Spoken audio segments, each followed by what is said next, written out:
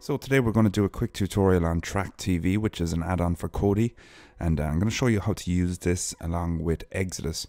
If you haven't installed Exodus already, there's a link up top right now, which will take you back to my last video and show you a quick quick steps on how to install Exodus for Kodi. So what we're going to do today is install Trakt, and we're going to install it for Kodi first of all, and then I'm going to show you how to get that working with Exodus. So Trakt TV will allow you to keep all of your videos synchronized across uh, different devices that you have this installed on. It'll allow you to keep a collection of different TV shows. You'll be able to see what you've seen, what you haven't seen. It's really, really useful. If you're using Exodus, uh, you should definitely install it. So the first thing I want you to do is uh, I want you to take account of two links. You can see them up here on the screen at the moment. So trakt.tv and trakt.tv activate.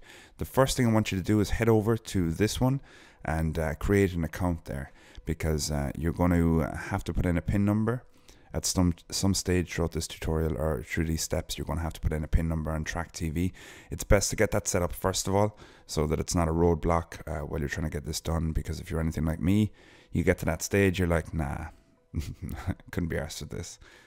So what I want you to do is open up Kodi and uh, the first thing we want to do once we're in Kodi is head over to system from here, it's add-ons.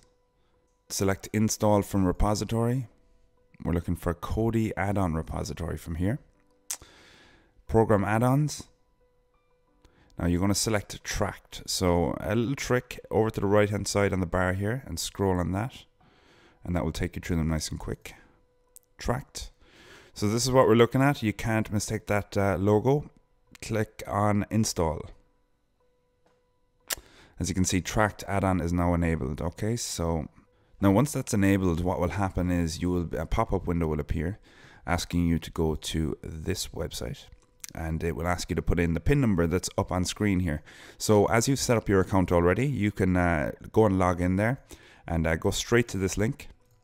I'll leave the link in the description and put in your pin number and all of a sudden Trakt is enabled for Kodi. Now what we want to do is we want to get it set up for Exodus. Head back to your main screen again and go to Video Add-ons. Select Exodus. Select Tools.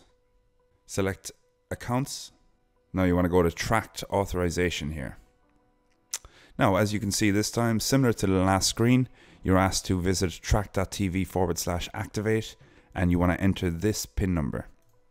So what I'll be doing is, very simply, Notepad is so handy for this. Have one open while you're doing it. You will see this screen. Paste your PIN number in. Allow Exodus to use your account. And you're done. Now let's quickly see what it can what it can do. So you can uh, click OK there. What we're going to do is go straight back to Exodus. We're in Exodus here and we go to TV shows. Let's go to most popular. We'll go to The Walking Dead, and all you need to do is press C on your keyboard, or a long hold, I think it is, uh, if you're using a touchscreen, and uh, Trakt Manager, Add to Collection.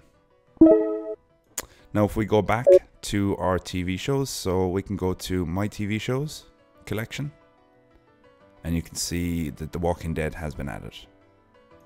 So that's Trakt TV uh, with uh, Exodus on Kodi. I might do a little video later on which will go more uh, into detail on what uh, Trakt TV can do with the Exodus integration. But uh, for now, I hope you enjoy.